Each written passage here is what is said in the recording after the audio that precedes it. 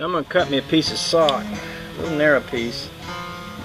I'm just going to drag it up underneath.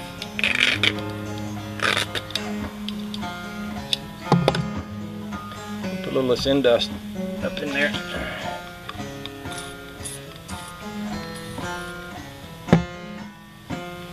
I said a little, but I put a lot.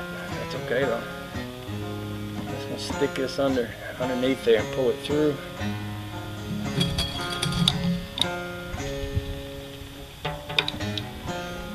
That way we can clean out the uh, goop. A lot of dirt that'll sit in there and you can't get to it. Can't get to it good to clean it. You can dismantle one of these babies and you find yourself with an awful lot of little nuts and bolts and things, screws and washers. And it's a it's a job.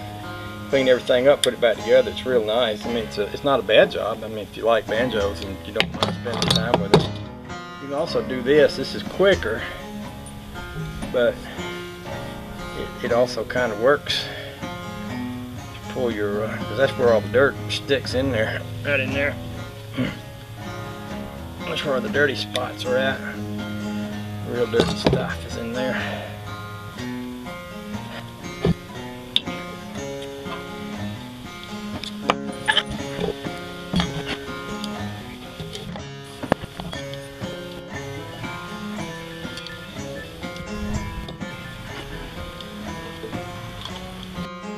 Another loose one and it's turned around backwards too.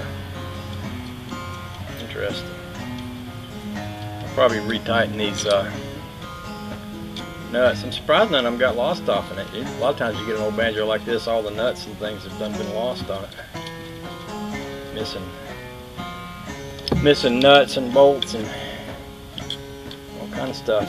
This one's, in, this one's all complete when I got it even had five strings on it, even if one of them did break right off. That was still pretty good.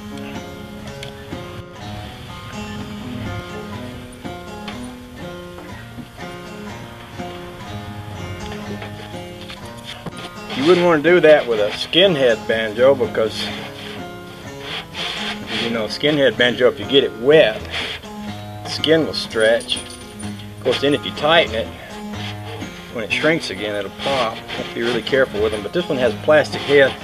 The plastic heads tend to be a little brighter. Some people say they sound better. Some people say they don't. It's really, you know, I got I got banjos with both, and each one are unique. But I like them each one just fine.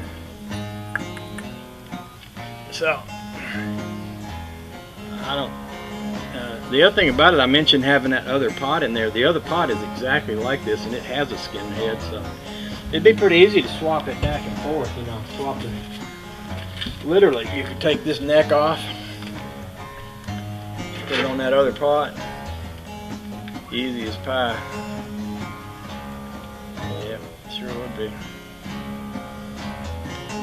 I think there's a piece missing from that bracket that holds the neck on. Usually there's a little square washer under there that the bracket goes up against.